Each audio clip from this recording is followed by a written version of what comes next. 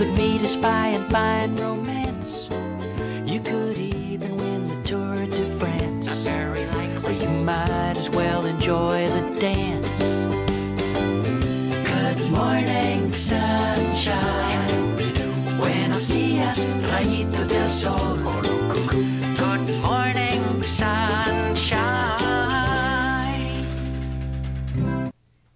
Morning sunshine. Xin kính chào tất cả quý khán thính giả của chương trình Cà phê sáng. Và hôm nay chúng tôi gồm có Vũ Kiểm, Quỳnh Anh và Tường Minh. À, xin chào anh Vũ Kiểm, Quỳnh Anh. Dạ vâng, Quỳnh Anh xin chào chị Tường Minh, chào chú Vũ Kiểm và quý vị đang theo dõi chương trình của Việt TV Radio. À, chào quý vị một lần nữa và chào bà chủ, đặc biệt là quý khách hàng của Cà phê sáng. Chào chị Quỳnh Anh. Dạ. Hôm nay chị có vô uh, rửa chén với tôi phụ rửa ly hôm hồi nãy thì mình làm uh, chào bình minh rồi bây giờ tới phiên mình phải quét nhà rửa chén tại bà chủ tới rồi. Anh ơi, Quỳnh Anh xinh đẹp như vậy làm gì mà có chuyện rửa chén? Quỳnh Anh đi lấy order. Ra Ok. một cái bảng open lên cái cái tiệm cà phê mình lên để Quý mà thấy số phận tôi nó hầm hưu không? một người rất là xinh đẹp trẻ trung như vậy thì phải đi ra lấy order để lấy lòng khách hàng chứ.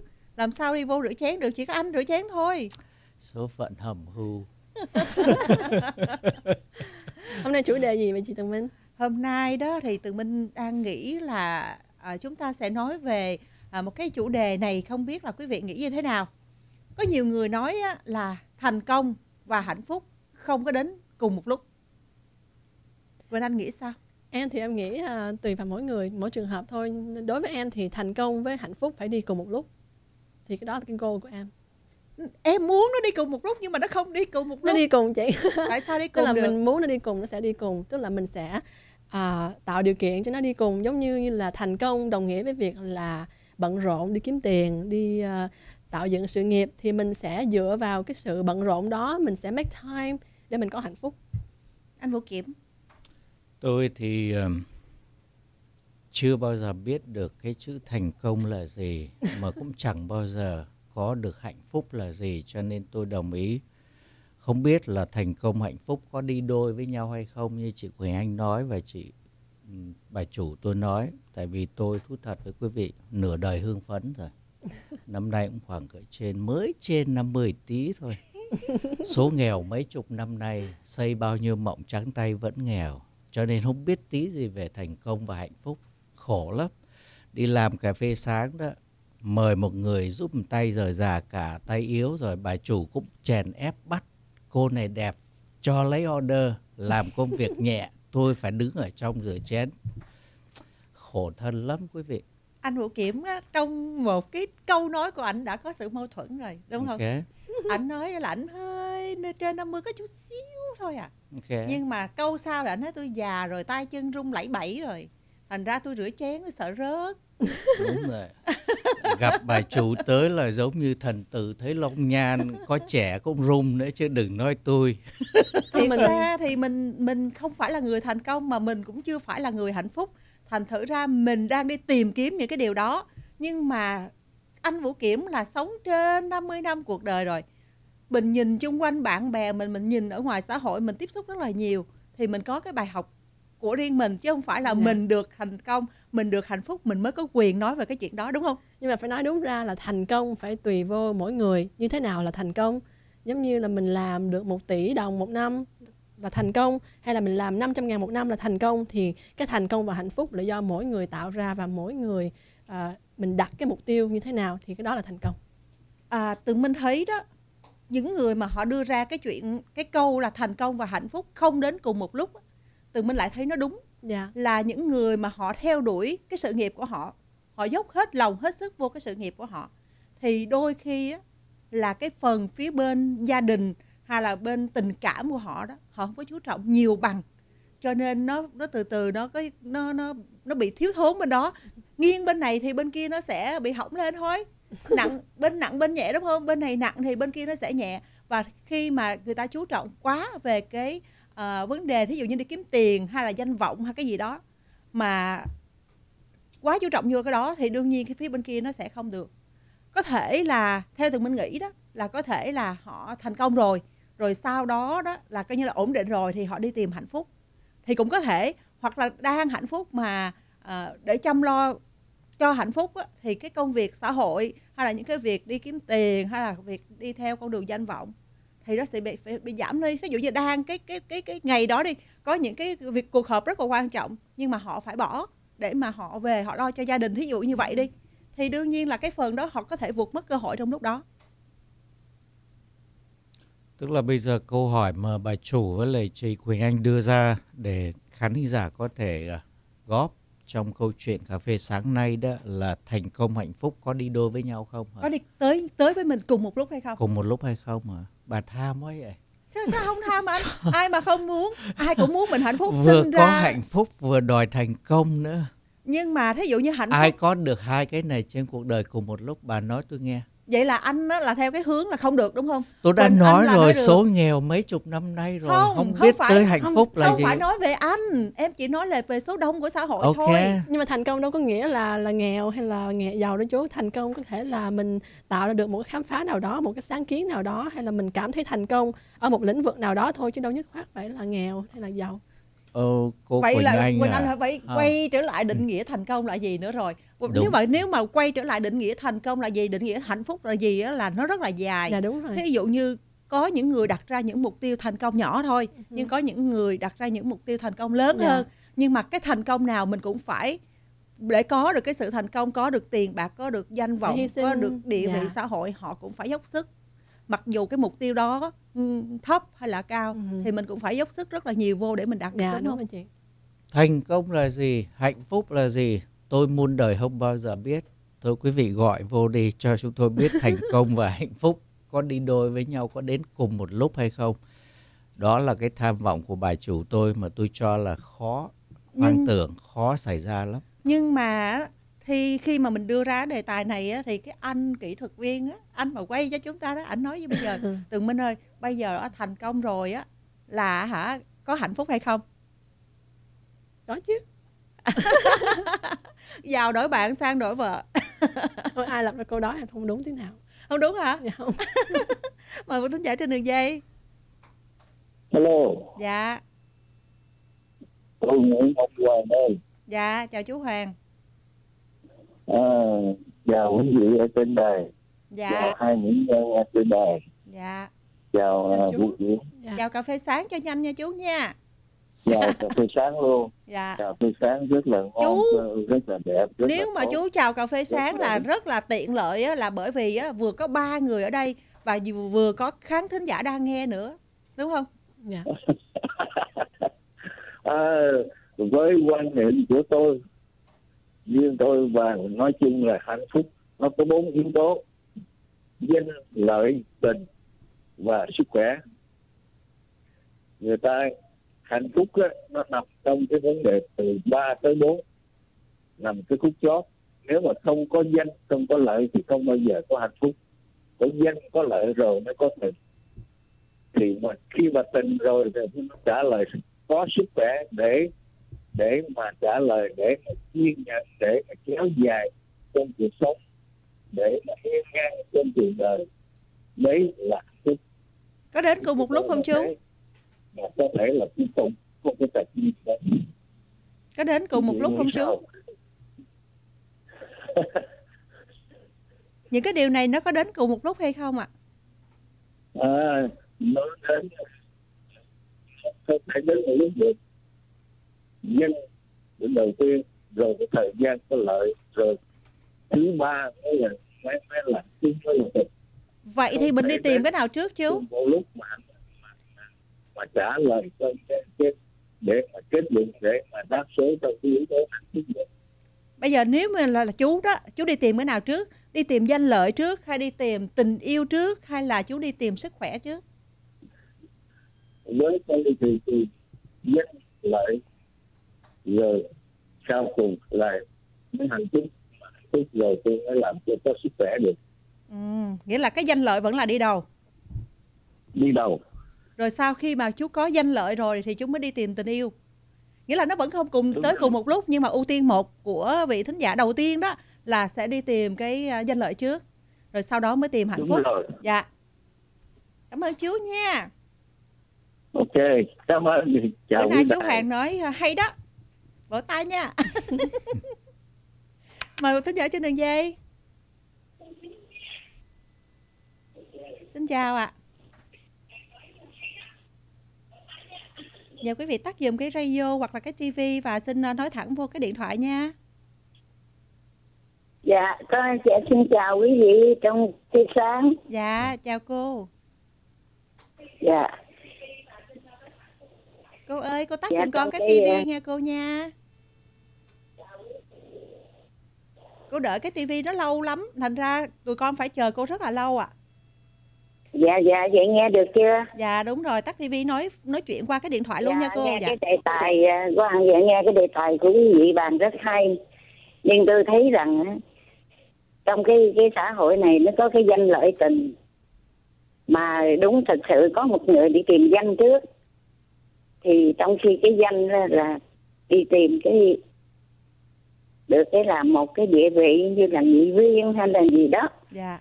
rồi thêm đó rồi xong cái lợi là dĩ nhiên là phải có lương cao Dạ, Được danh lợi đi đôi ha. Dạ. và danh lợi đi đôi đó trong cái thời gian ấy thì mình thấy đi đôi mình không có định được là mấy năm mà nhưng mà mới một hai năm thôi rồi cái tự nhiên rồi đi tìm cái tình và dứt được cái bà vợ già lý dị bà vợ già đi ở với cô vợ trẻ thì như vậy là cái cái danh lợi và cái danh rồi lợi rồi tình đó được với họ trong một lúc rồi trong chỉ khoảng thời gian ngắn thôi. Cho nên á, cái danh lợi tình đó làm cho con người nó mặc dù mình thấy ở ngoài xáo trộn nhưng mà đối với cái nhân vật đó họ sẽ thấy là hạnh phúc. Còn cái sự bình dài hay không đó mình không biết.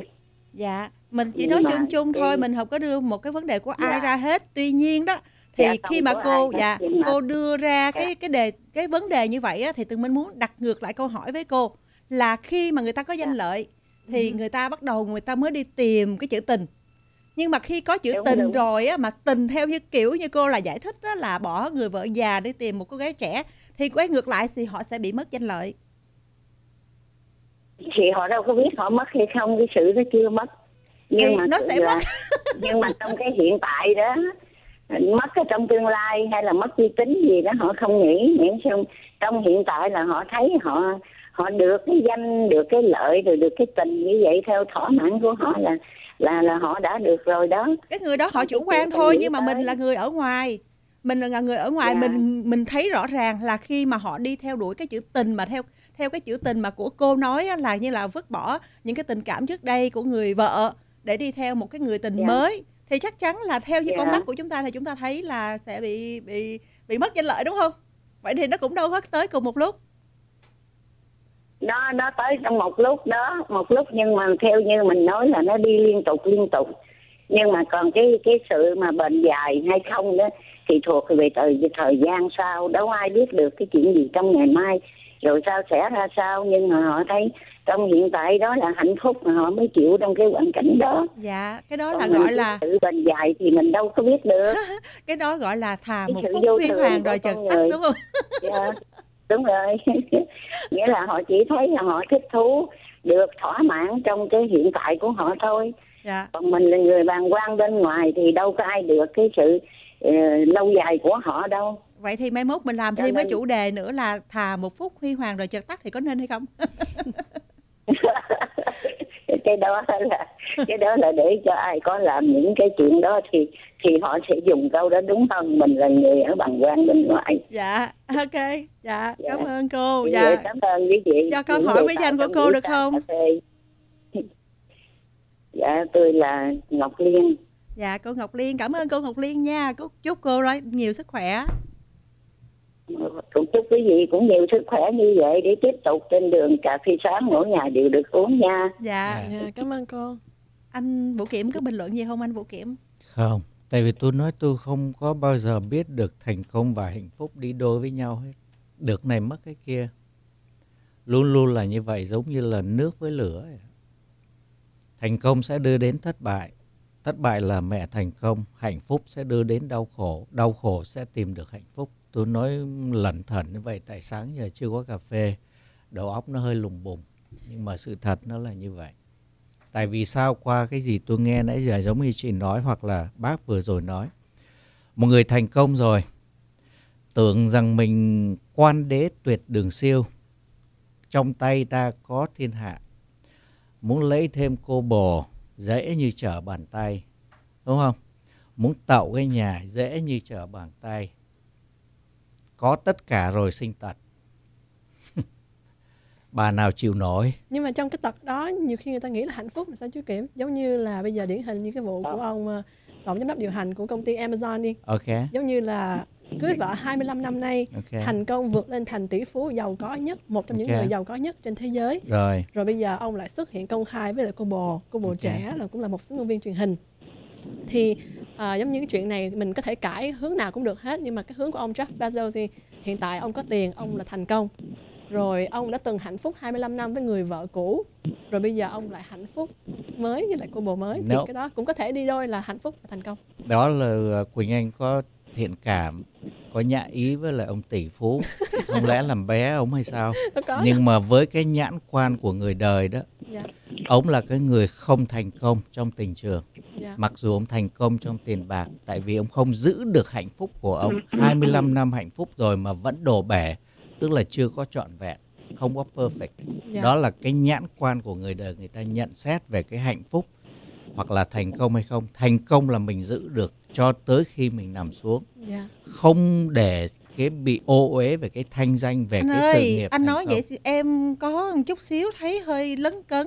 Ổng bỏ được người vợ đó là ổng thành công rồi Ờ, bà Dạ, có muốn nghĩ thành công kiểu đó không mời mời em là đời em nhãn không quan của người đời người ta nhìn em nó không có được thành công rồi để À, em nói với anh là đó. em không có thành À. công mà em cũng chẳng có hạnh phúc thành thử ra ông Trump có thành công không yes bây Ông- giờ ông thành công ông đạt được cái tham vọng của ông về chính trị ông làm tổng thống nhưng mà hạnh phúc của ông đâu không có thì mình, mình đứng Ờ. ngoài mình nhìn không có thôi những khi À. mình nhìn như ông vậy có thôi sao? ông thấy dạ mời, À. mời một thính giả trên đường dây ạ alo. Dạ Alo. dạ. Dạ. Chào cà phê chào cà phê đắng á lộn cà phê sáng. Chào anh. Rồi không mà thật ra đó là là là là cái vấn đề mà thành công đi đi tới với là là, là à, thành công đi tới hạnh phúc thì mình nghĩ rằng á đó là sự nghiệp đi trước rồi hạnh phúc đi sau thì có thể là có. Nhưng mà nếu mà hạnh phúc mà hạnh phúc đi trước và thành công mà thất bại thành công thì có thể là là là đúng. Tại vì khi mà chúng ta đi tìm mà sự nghiệp thì lúc đó có sự nghiệp thì thì hạnh phúc sẽ đến với, chúng ta rất là nhiều. Còn mà nếu mà chúng ta đã mà có hạnh phúc mà đã đi tìm thành công thì cái sự hạnh phúc nó sẽ mất hai cái này thì nó sẽ không hiếm được đi đôi với nhau. Nếu mà ai mà được đi đôi thành công và hạnh phúc thì đó là người đó rất là lucky. Đúng không chị à, chị Tùng Minh? Anh Vĩ Kiểm. Mình Đó, nghĩ vậy đó đó nhưng như mà vậy. quỳnh anh có Tại hai vì- thứ cùng một lúc đó thành công của em chưa chắc thành công của người khác nha that's it. Đó là cái điều mà nãy giờ chúng ta dạ. tranh luận. Dạ. Đúng. Tức là mình ngả theo cái hướng cái quan niệm sống của mình như thế Yeah. nào dạ. Đúng không? Dạ. chính xác nếu mà tại vì hai cái mà nó đã đi đôi với nhau mình đi tới với anh Bùi Kiểm nói là đi tới với nhau trọn đời mà đến răng long đầu đầu cái hạnh á, phúc và Đó hành thành công của tôi sắp sửa hết giờ tôi muốn nói để trước khi tôi quên rất là nhỏ nhoi. Rồi rồi. Tôi thành công là tôi thắng được bài chủ của tôi không đì tôi. Bắt tôi phải rửa chén suốt ngày đúng không? Hạnh phúc của tôi là bà chủ cười với tôi không có gây với tôi. Đó là cái hạnh phúc. Ví dụ là như vậy rất là nhỏ nhoi nhưng mà nó Dạ. hiện thực dạ Đúng rồi. không? dạ. Yeah. nó nó là một cái sự thành công của anh Vũ Kiểm nó là thành công trong một tiếng đồng hồ này thôi. Còn nếu như nếu mà nói thành công trong cuộc đời của anh là nó khác. Tại anh chưa nói cái khúc sau. đời tôi không có thành công và không có hạnh phúc. Tôi chán đời lắm. Dạ. Rồi là Rồi, bye anh đó là chấm đó là như vậy rồi Dạ. ok cảm ơn anh Hùng nha xin chào anh và đến đây thì chúng tôi xin dừng chương trình đôi phút để chào vài thông tin thương mại bảo trợ cho đài sau đó thì chúng tôi sẽ quay lại mời quý vị tiếp tục giữ find romance.